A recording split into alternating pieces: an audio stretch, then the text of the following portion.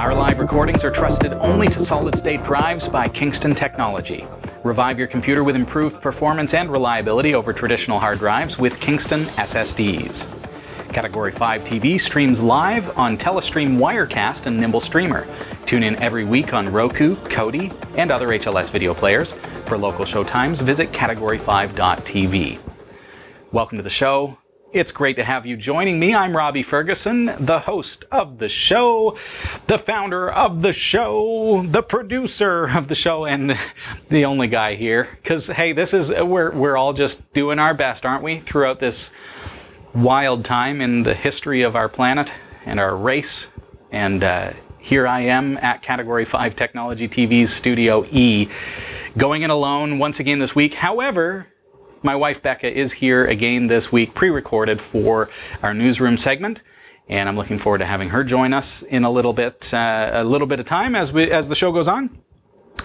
Um, I just want to say that this broadcast would not be possible. Our studio would not be possible without the support of our Kickstarter uh, backers, our patrons, and the donors uh, who have simply decided to throw a little something in the tip jar. In particular, I want to say thank you to Scott Burk- Scott Barkley. Pardon me, Scott. I apologize.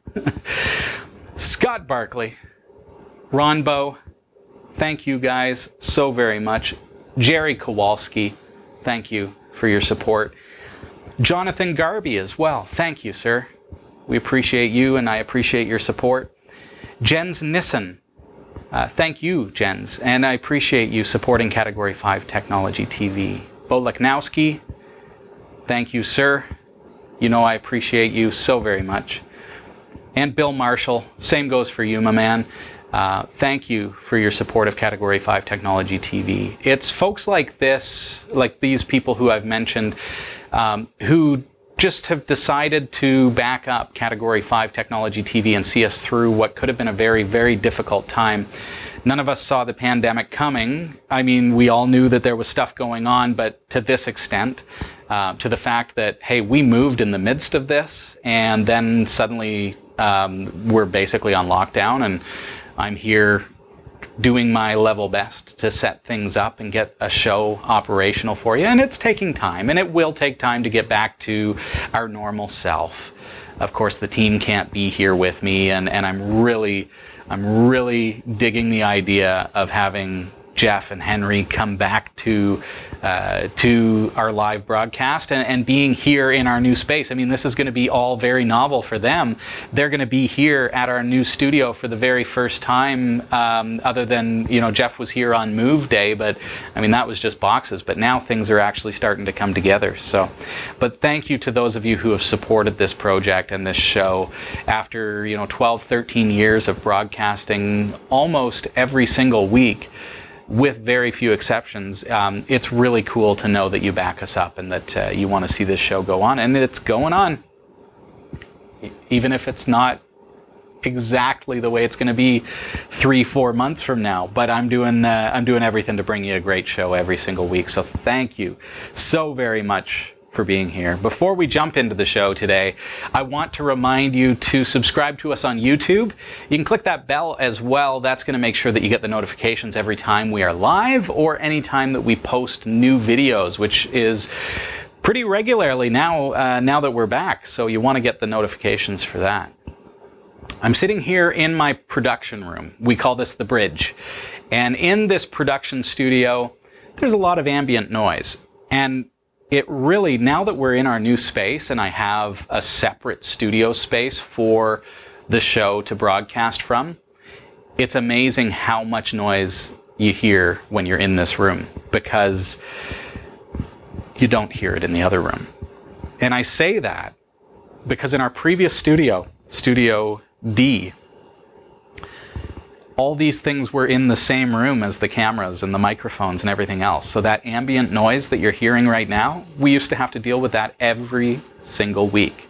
There's going to be a time coming when we no longer have to deal with that. And part of that is doing my best to reduce the noise. Now, the main studio area, there's no noise. There's, I'm, I'm not allowing any moving parts in that room there are no moving parts. That is fantastic. Think about that for a second from a broadcast perspective, from a studio perspective. I don't allow any motors or fans or anything else in that room. Everything's got to be either passive or SSD, that kind of stuff. So, with that in mind, I do sometimes have to work in here, and I do have to, as you're seeing this week and last, sometimes I have to broadcast from this space too.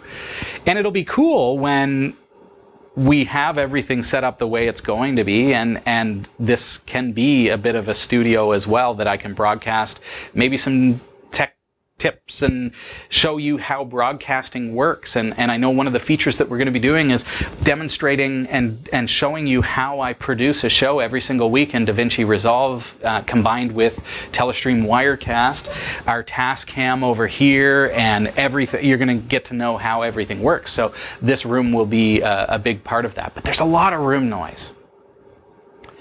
Room noise is the enemy of video broadcasters, podcasters, radio. Room noise is the worst. We always have to deal with, you know, in the next studio, I don't have the ambient noise of motors and fans and things, but I do have echo right now that I have to deal with. So we'll deal with that with some uh, some sound uh, soundproofing and, and some foam that uh, that will help with that putting up drapes and things will also assist with that and uh, inevitably getting some furniture in that's not just solid wood will be helpful as well because there's a lot of echo. But in this room, you can hear there's a lot of ambient noise from the server rack that's behind me. It's really important. That runs the show. It keeps everything going. It runs a lot of our services and our, our internal infrastructure. However, it is generating a lot of noise and a fair bit of heat. This is the warmest room in the house, I'll tell you that but it's pretty noisy. And so what I've done this week oh, is I have set down a H4n. This is a Zoom H4n, which I've got on a tripod or a mic stand here.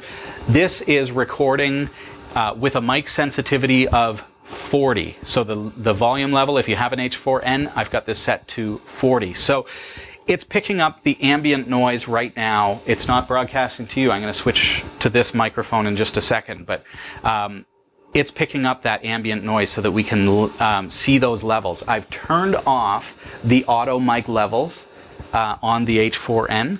So what you're going to get to hear and see visually in GoldWave are the wavetables directly from this with no uh, resampling and no changes to the levels. So it's exactly the same from point A to point B. I mean, there it's not going to change the levels of the microphone. That's going to help us to be able to see tonight what kind of a difference we can make by changing a simple fan. Can a $10 part reduce the noise in such a way that it's actually worth our while? So this is our backup drive. It's an A-Raid 3500-GP. These things are fantastic. It's a mirroring unit. So we've got a master drive and a secondary drive, and I can pull this secondary drive. It's a, a 10 terabyte um, hard drive. I pull that out, pop in a different one, and it re-images, and I have a, an exact mirror at all times of my backup. Then the server is down here, and this is actually the storage and the Samba shares and everything else. And that's generating a lot of noise too. So right now, let's just check out the levels of everything running the way it normally would. I'm going to shut up for a second and let you hear that and see that visually.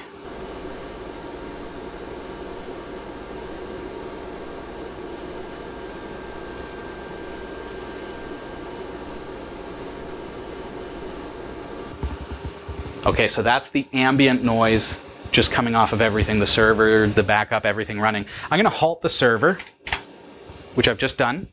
Let's listen.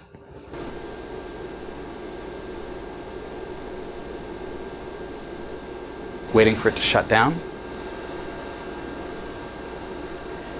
And it's still powered on, so I'm going to now power that off. Here we go.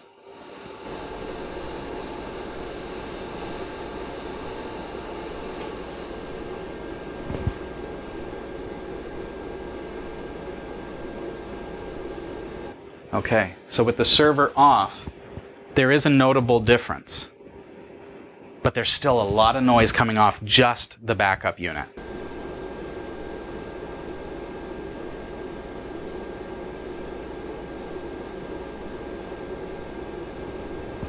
All right, so I'm going to power that off and we'll see how the room sounds.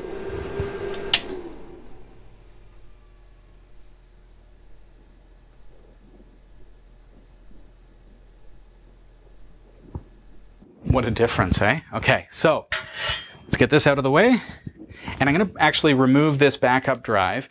And so what I'm going to do is we're going to throw a, a little $9 fan in here to replace the stock fan. And the intention today, it's not a sophisticated tutorial or anything like that. It's not overly geeky. However, something that we don't often think about is that there are very simple and very affordable solutions that we can put into place that can help with this ambient noise. It doesn't just apply for me here at the studio, it applies for you at home. Uh, if you've got computers that maybe are generating a lot more noise than they uh, need to be, maybe a solution is to look at those fans and see if you can cut that down. Look at the hard drives and say, hey, I've got a lot of spinning hard drives in there right now. Let's instead replace those with some Kingston SSDs, which are uh, they have no moving parts and they make absolutely no noise. They also, incidentally, generate less heat, which is a nice bonus as well. So this backup unit is generating, in my opinion, way more noise than I should be having from a backup unit. I mean, it's, it's my backup. It's incredibly important. However, it is just my backup. It's just two hard drives spinning away. Can't be generating that much heat that it has to be running a fan at full capa- uh, full spinning speed all the time. So the fan that I got is a pretty popular one. It's an Arctic F8 Silent. So do keep in mind it is the silent model. And it says on the box extra quiet fan. And you can see on the back of this unit, um, it does have a fan to keep it, everything cool. So that's what we're going to be replacing. I feel like maybe the stock fan is louder than it has to be. You guys could hear that. You could see that visually, how much ambient noise this thing was generating.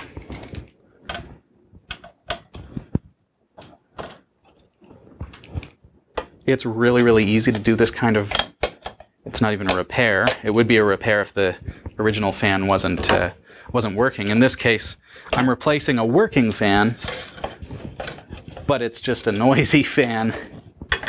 All right, so what do we have here? We've got some, we've got a tie wrap here that I'm gonna have to cut. I don't even have the correct tools yet, like scissors or wire snips. Do not do this at home. I'm going to be really careful. I'm going to say that and then I'm going to cut my finger real bad. I'm not. I'm not. Don't worry. Don't do this. Don't ever do this. I just am going to get in so much trouble for doing that. I know. Give me a hard time, YouTube. All right. So there is the fan, and this is the Molex connector for that fan. Ideally, if I could take this outside and blow it out with uh, with a, a, canless air, something like that, that would be ideal because there's a lot of dust in there too. Wow. All right, so let's get into here. So simple, folks. But the ultimate test is going to be, I want to know Uh, we've got that recorder recording so that we can compare the actual ambient noise that this is generating. When you get a fan, you can look at the fan and it will show you, because you wonder which, which way is the fan going to be blowing. And I would have thought the fan was blowing out this way. But if you look really, really closely, see if you can get a fix on that. Can you guys see that? There's actually an arrow which points the way that the fan is going to be blowing. So that's important to note. It's exactly the opposite of what I would have thought. So, easy install. And what I did is I just, I measured first, and this is an uh, 80 millimeter. So um, it was easy enough to find online. And as I say, it was nine bucks to get a, a hold of this fan. So let's get that in there. Just gonna use the same screws. It came with screws too, but it doesn't matter, they're the same.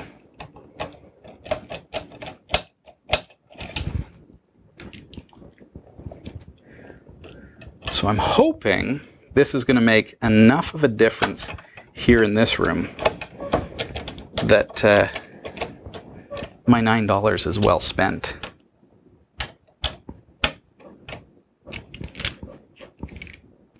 The A-Raid 3500 is, is a great backup drive. Check it out. I'll put links below. Um, this one was gifted to me, um, which was a real blessing. Um, by one of our long-term, uh, long-time friends of the show, who unfortunately went out of business. And they said, "Hey, would you like that backup drive?" And so they gifted it to us, and I've used it ever since, and it's wonderful. These are great devices. Okay, so you notice I had a Molex on the old fan, but I've got a three pin on this fan. So I've also grabbed myself a Molex to three pin adapter. So just pop your fan in there. And that's just for the A-Raid because I knew that the A-Raid was using Molex. And here we go.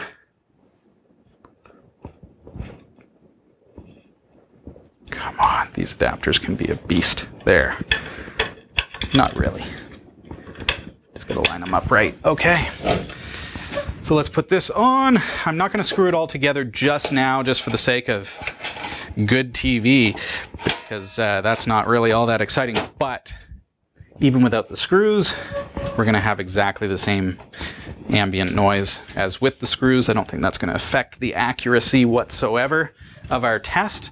So I'm going to just put this back on my server rack, plug in the SATA cable, eSATA, which just goes in the back here, if I can find it. Ah, I wasn't even in the right place. There we are. And it's a full-size power cable. It's like a computer uh, cable. And if we're ready, now this is still recording. and place it right at the exact same spot and fire up.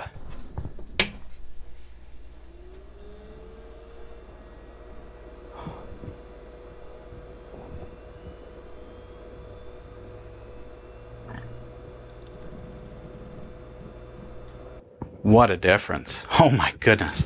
I have to actually make sure that this is working. And it is, sure enough. She's blowing air.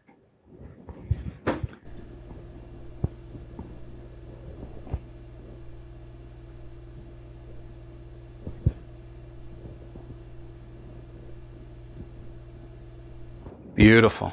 All right, I am going to fire back up the server because the server generated a lot of noise too. And there's not a lot I can do about that. It's an R510. They're pretty noisy servers, but let's fire it up just so that I can compare the ambient noise difference. You can hear that the backup drive alone, huge difference. Now let's fire back up the server. This can get loud for a second because they fire up loud.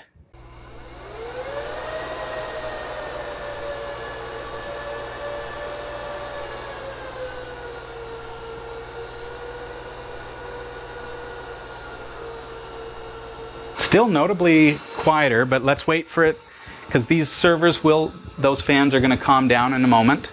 They blow out the dust and everything before, uh, as they're just first booting up. Once the drives start flashing, that means it's booting.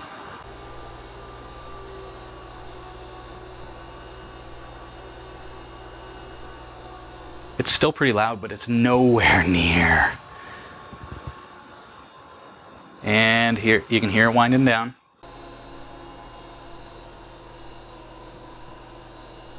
I can at least.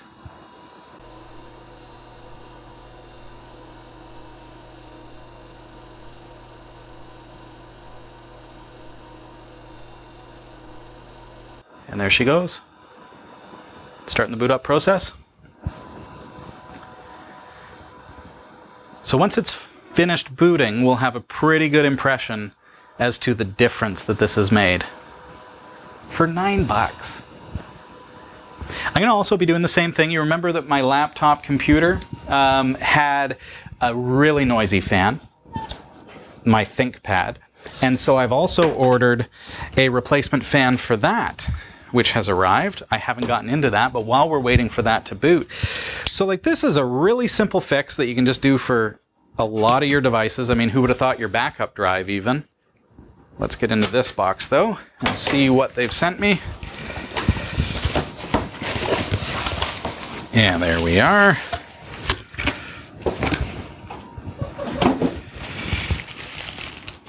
There it is.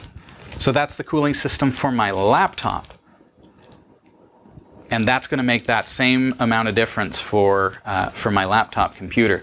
So you can get these kind of replacement parts, and you don't have to replace a whole laptop or a whole backup drive to reduce the ambient noise. So now I'm going to switch back to this microphone so that we can hear with the server running, the backup drive running. How does this compare to when I first started this segment? It's still booting. It's doing a lot of reading, so it might be a little bit inaccurate. Let's there, you can hear that. It's slowing down. Let's give it just another split second here. You can see the drives are going crazy, so that means it's still in the boot process.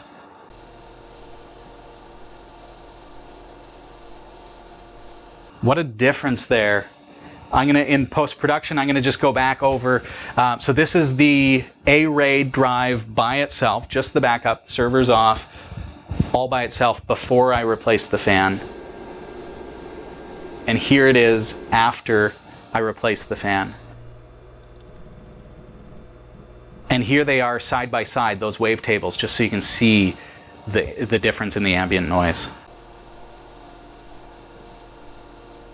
All right, so that server is still booting, still going through its thing. But let's, uh, let's get a look at how the uh, ambient noise all together now. So the server and the backup drive are back up and running just like they were before. How is that affected?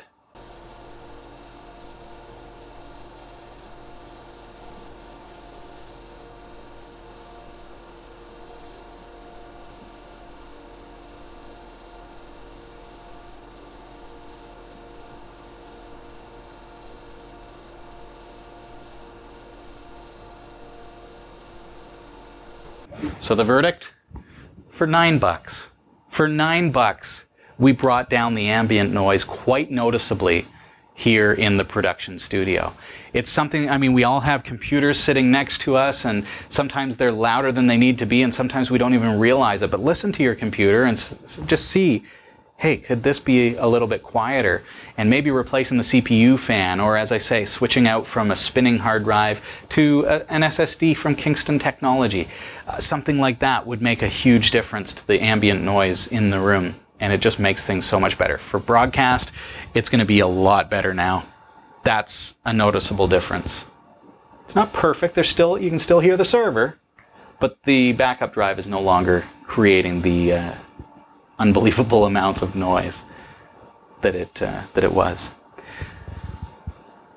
Well, there you have it. You, can look up um, your products online. I mean, get on to uh, B&H Photo Video is a great place to get stuff. Um, uh, also, Ameridroid has a lot of great fans. Um, I've got some fans um, for my server case that I'm going to put in from Ameridroid. Um, just check what they've got. You can find them like pretty much any online store has got this stuff. So uh, really, really cheap, really, really easy to replace. And we did it here. So. Uh, we're ready to head over to the newsroom. So, Bekah, over to you. Here's what's coming up in the Category 5.tv newsroom. Kernel security updates fix several issues in Ubuntu. LibreOffice 6.3.6 is the final update to 6.3, which is going EOL. Sophos Firewall falls victim to the in the wild SQL injection attack. Revolutionary new tech means you can touch things in VR. And Google has released the AI code for Tapas as open source software. Stick around, the full details in this week's Crypto Corner are coming up. This is the Category 5.tv newsroom, covering the week's top tech stories with a slight Linux bias. From the newsroom, I'm Bekah Ferguson. Canonical has published new Ubuntu Linux kernel security updates for all of its supported releases to patch several vulnerabilities discovered lately by various security researchers. Affecting Linux 4.15, 4.4, and 5.3 kernels in several versions of Ubuntu Linux, the new security patch fixes an issue found in the Intel Wi-Fi driver, a race condition discovered in Linux kernel's virtual terminal implementation, a flaw discovered in the floppy driver, and a race condition in the block I.O. tracing implementation. All these issues could allow a local attacker to either crash the system or expose sensitive information. The new kernel update also patches a stack buffer overflow discovered in the vhostnet driver. This could allow a local attacker with the ability to perform IOCTL calls on dev vhost-net to cause a denial of service, crashing the system. That's just to name a few of the critical security issues that have been patched. Canonical urges all users to update their installations and install the new kernel versions as soon as possible. New kernel versions are also available for Raspberry Pi devices, cloud environments, OEM processors, Snapdragon processors, as well as Amazon Web Services, Microsoft Azure Cloud, Oracle Cloud, Google Cloud Platform, and Google Container Engine systems. Keep in mind when updating a production system that a system reboot is required for the security issues to be corrected, so it's best to schedule a short downtime to perform this update. The Document Foundation has announced the release of LibreOffice 6.3.6 as the sixth and final update of the 6.3 series, which will reach end of life at the end of this month. Coming more than two months after LibreOffice 6.3.5, the LibreOffice 6.3.6 update is here to provide users of the LibreOffice 6.3 series with one last set of bug and regression fixes. It also aims to improve document compatibility. The LibreOffice 6.3 series is targeted at enterprise deployments and production environments. When LibreOffice 6.4 is already available, 6.3 is the only, only version currently recommended by the Document Foundation for organizations. That said, LibreOffice 6.3 is set to reach end of life on May 29, 2020, and this is the last update. If you're running LibreOffice 6.3 in your organization, it would be best to update to version 6.3.6 as soon as possible and start considering upgrading your 6.3 installations to the 6.4 series in the coming weeks. The current release of LibreOffice is uh, 6.4.3, which will be considered ready for enterprise deployment by the next point release, which should be out by the end of the month. Until then, you can get either version from now, or you can get either version now from the official LibreOffice website. Binaries are provided for Deb and RPM-based distros, or you can install the latest release from the stable software repositories of your Linux distribution.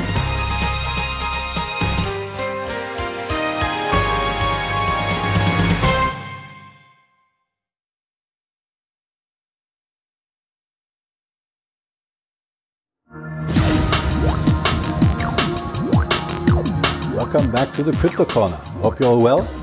Um, today we'll only have two headlines. The first one will be the halving, and the second one will be DCEP. Now, the halving occurs every 210,000 blocks, or roughly every four years, and reduces the block subsidy, so the money that the miners are getting, by around 50%. Currently, that is 12.5 uh, Bitcoin every 10 minutes, and it will be reduced to 6.25 um, after around the 12th of May. As you can see behind me, there is a clock. The upper time is based on the current block time. So it takes around 8.8 minutes, not 10 minutes to mine a block. And the reason is that everybody that has got an ASICS miner switched that machine on to take advantage of the current still 12.5 Bitcoin that the system uh, emits every around 10 minutes or currently every eight and a half minutes. So you have to watch the upper time because that is the one that counts. There is no time within the uh, Bitcoin blockchain. It's just a block. And every block, as said, takes around 10 minutes to be mined. And so there's this time difference coming from. Now, um, how do you say it correctly? Is it halving or halvening?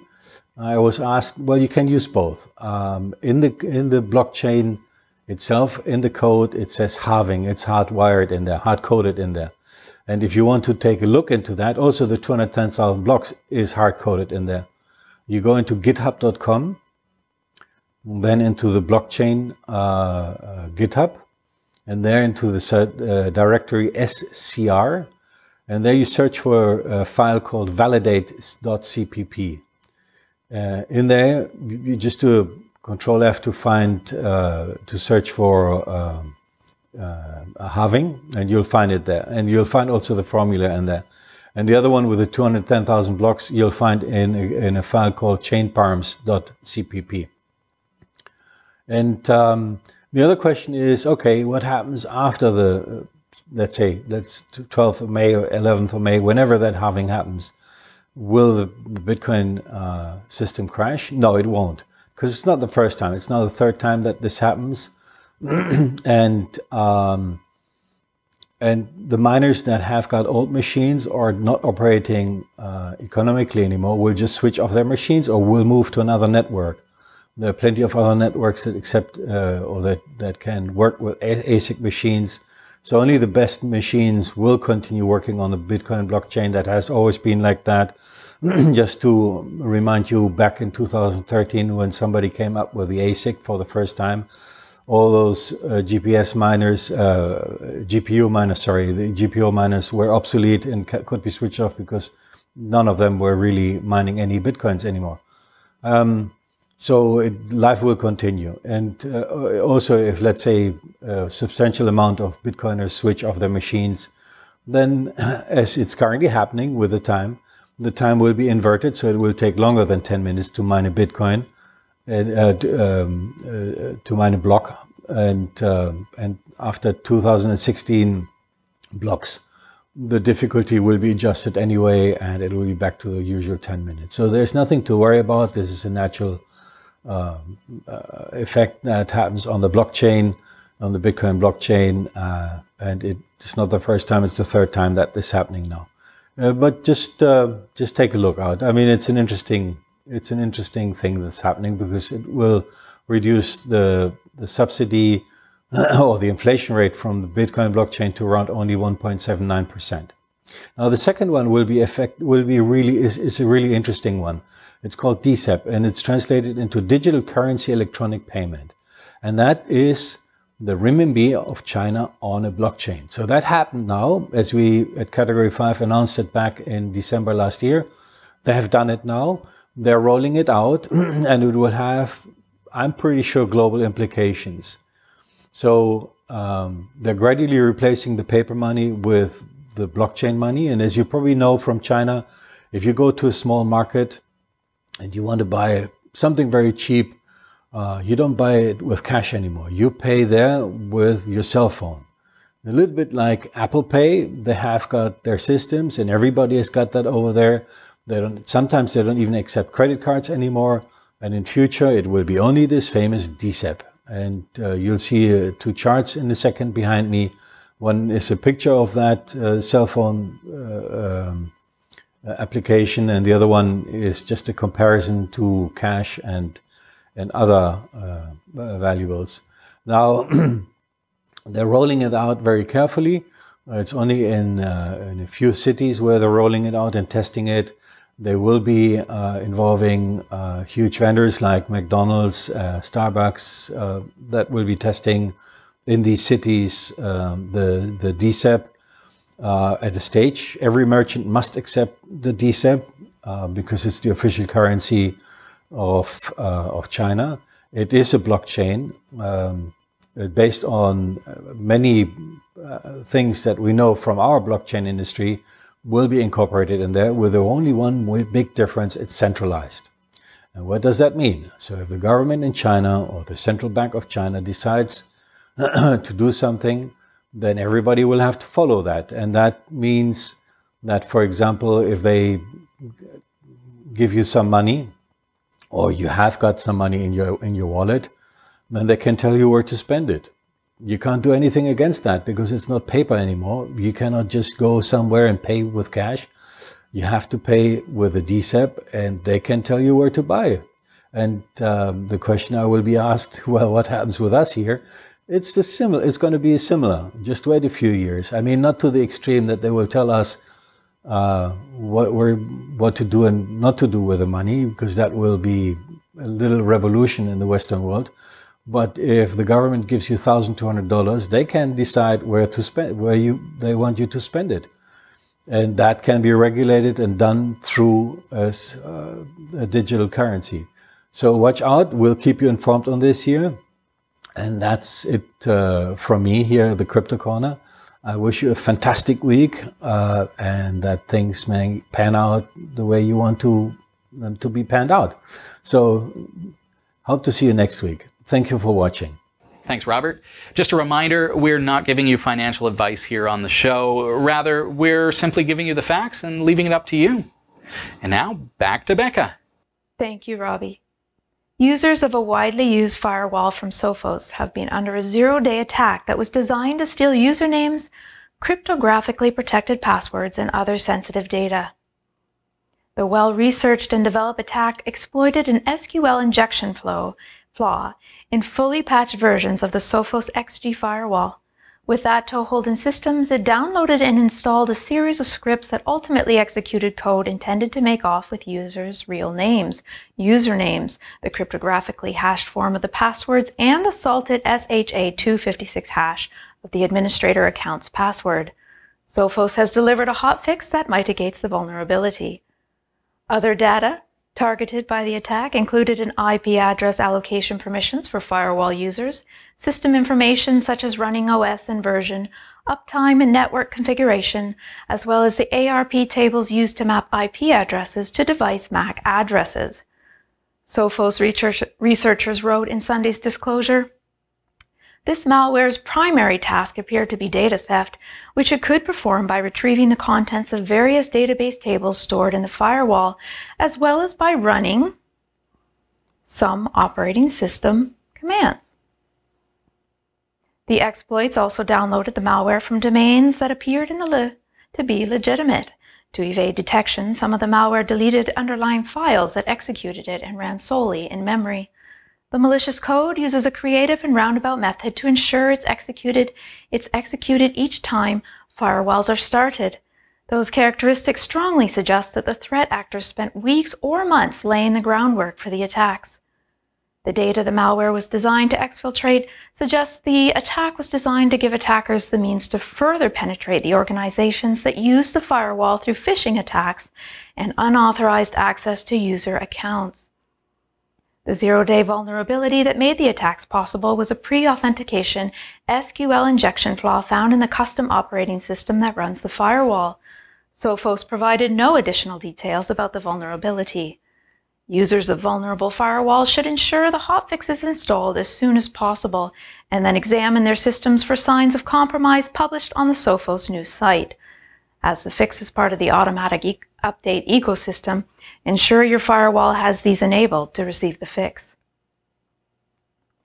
A new lightweight virtual reality device has been created that would allow users to touch objects at shops and museums without ever having to go there in the flesh. The limits of virtual reality have been stretched in the last five years, the technology has become the medium of choice for game developers, artists, and actors alike, seeing a real boom in projects that bring us alternate realities during enforced social isolation. Through immersive audio and visual landscapes, the ability to visit mind-blowing locations, real or not, is on the brink of becoming an affordable option for many. Nowadays, what you see and hear in virtual reality is not so dissimilar from actually visiting these places. However, up until now, the experience did not give us the ability to physically interact with surrounding environments. Chris Harrison, assistant professor at Carnegie Mellon's University Human-Computer Interaction Institute says, Elements such as walls, furniture, and virtual characters are key to building immersive, immersive, virtual worlds, and yet contemporary VR systems do little more than vibrate hand controllers. A team at the Pennsylvania University has created a new device that uses haptic feedback, a technology which stimulates the sensation of touch to make the virtual experience seem more real. Where other devices might use a series of expensive power-hungry motors to give the sensation of touch, their design uses a simpler mechanical solution. From a shoulder-mounted system, a string is attached to each finger, giving resistance based on what the user should be feeling. A spring-loaded mechanism is combined with an electric latch that stops the hand from moving further as it makes contact with heavy objects in the virtual world. Cathy Fang, co-author of the study, says, I think the experience creates surprises, such as when you interact with a railing and can wrap your fingers around it. Fang said the system would be suitable for VR games and experiences that involve interacting with physical obstacles and objects, such as a maze. It might also be used for visits to virtual museums. And in a time when physically visiting retail stores is not always possible, she says, you might also use it to shop in a furniture store. While their research shows that this method provides a much more realistic sense of touch, the team says that a mass-produced version, when, re when ready, could be available to the public for less than $50. Google has released the code for their internally developed artificial intelligence, Tapas. It can take a natural language question such as what's the name of the latest iPhone and fetch the answer from a relational database or spreadsheet, and it's now open source. The Search Giants researchers detailed the AI on Thursday. Tapas is based on BERT, a natural language processing technique that Google uses in its search engine. A sizable portion of the world's information is relational, that is to say, organized into rows and columns. Navigating from these rows and columns historically required either manually sif uh, shift sifting through a spreadsheet or writing SQL queries. Natural language processing makes the task considerably easier for users, which is why the technology has been extensively adopted by Google and other players in the analytics market. The search giant says that the Tapas beats or matches the three top open source algorithms for parsing relational data, they trained the AI on 6.2 million tables from the English version of Wikipedia and then set it to work on a trio of academic data sets. Benchmark tests that showed that the neural network provides accurate, comparable answers as the rival algorithms across all three data sets.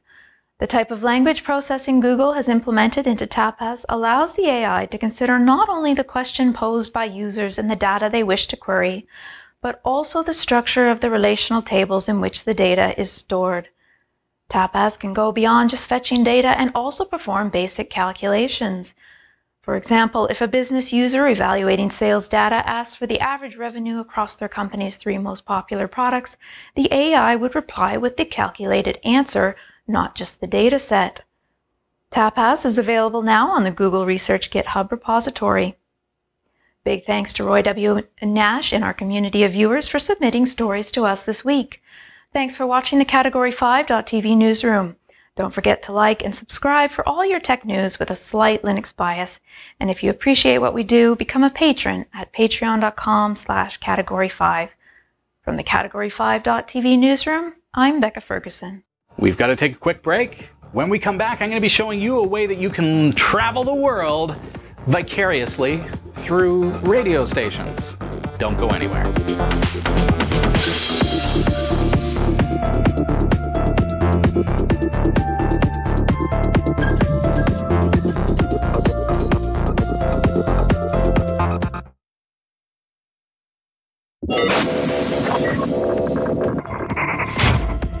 Back. I said I was going to move into the studio. I'm glad. I mean, okay, so Bekah broadcasted the news from the main studio, and that worked flawlessly with the new devices, uh, the HDMI repeaters. I decided I'm going to actually stick around in here because it's so quiet now. It just sounds great. And speaking of sound, I thought I would show you something that just is mind bending how technology can evolve something that we thought could never get any better and that's radio.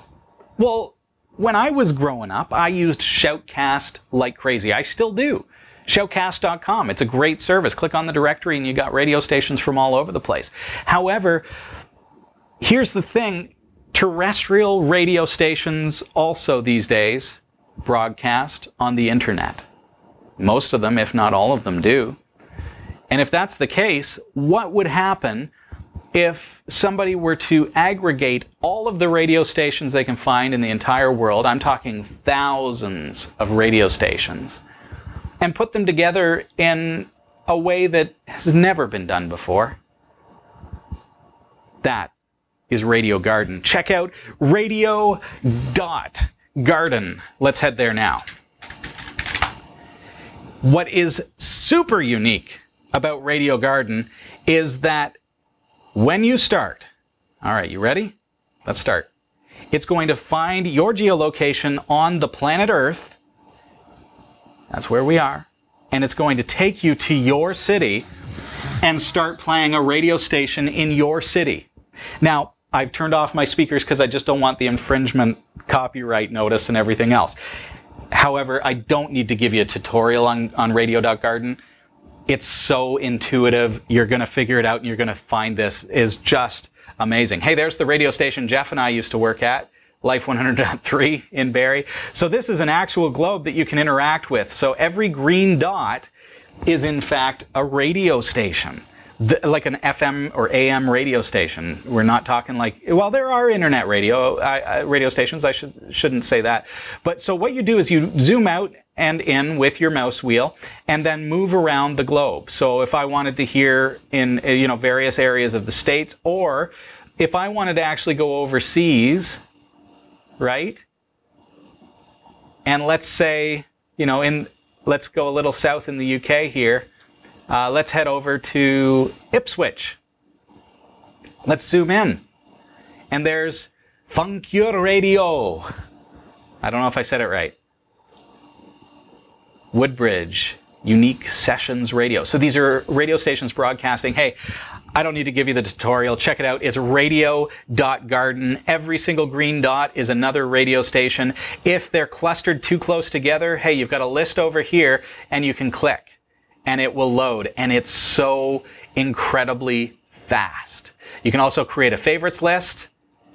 You can search. Check it out. I mean, it's intuitive, it's incredible, and, and it loads the radio stations faster than anything I've ever seen before. They've done a fantastic job. Now, this site, this service, is being aggregated by a company in Amsterdam, the the Netherlands, um, and uh, there is some information there about them. But they really like it's free for all, and uh, there's nothing to it. Do check it out. No fuss, no software to install just enjoy radio from all around the world. That's radio.garden. It's all the time that I have for this week, folks, but it's been so great having you here. Thank you for joining me on Category 5 Technology TV. I'm looking forward to seeing you again next week. Don't forget we are on Twitter at Category 5 TV. I personally am on Twitter if you'd like to follow me at Robbie Ferguson. I'm incredibly witty.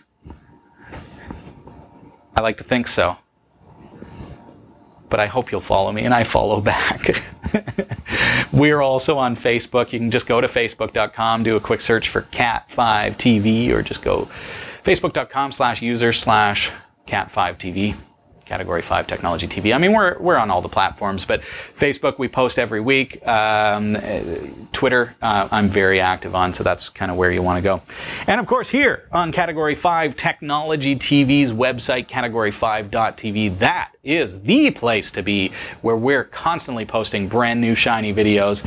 And uh, we've got some great features there. You can download videos as well. We've got bittorrent files that you can download past seasons in bulk to your computer webs right from our website. So check it out, category5.tv. Looking forward to seeing you again next week, everybody. Take care. See ya.